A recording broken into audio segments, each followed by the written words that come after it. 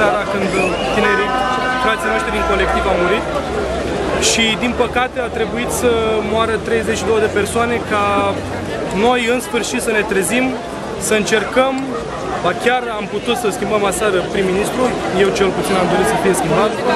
Și împreună cu el și ceilalți miniștri care nu au um, făcut nimic până acum și tot parlamentarii și tot Parlamentul, în seara asta nu